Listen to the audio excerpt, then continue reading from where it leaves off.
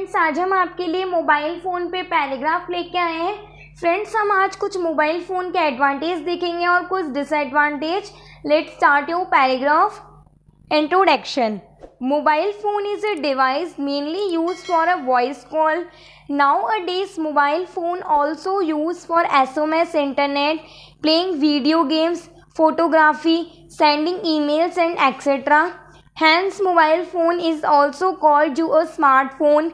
Like everything has a positive and negative side, mobile phones too have some advantage and disadvantage. Advantage of mobile phone first, keep us connected. Now we can be connected to our friends, relative anytime we want through many apps. Now we can talk video chat with whoever we want by just operating your mobile phone. Friends complete paragraph के लिए आप मेरी full video को check कीजिए। Link in description thank you